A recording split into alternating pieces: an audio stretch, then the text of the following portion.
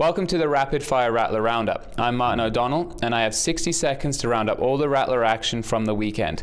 If I don't, something bad will happen to me. Can I have 60 seconds on the clock, please? Are we ready?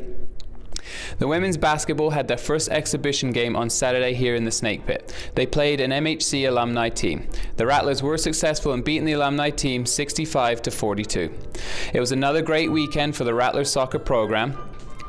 The women on both won both their games, beating the Olds Broncos 4 0 on Saturday, with Katie Litwiniak adding two more goals to her ever growing goal tally. Sunday, the women beat SAIT to increase their season to 4 1 0. The Rattlers men had the same success by beating Olds 5 0 with a plethora of goal scorers. They also travelled to SAIT, where they were gained maximum points by beating SAIT 3 1 and increasing their season to 2 1 2, putting Medicine Hat College Rattlers soccer into a playoff spot. Nailed that one? Thought I would. Hashtag nailed it. More action this week with the women's basketball hosting an exhibition tournament that starts on Thursday at 6 o'clock, while the Rattler soccer teams are back on the road to play Red Deer and Lakeland.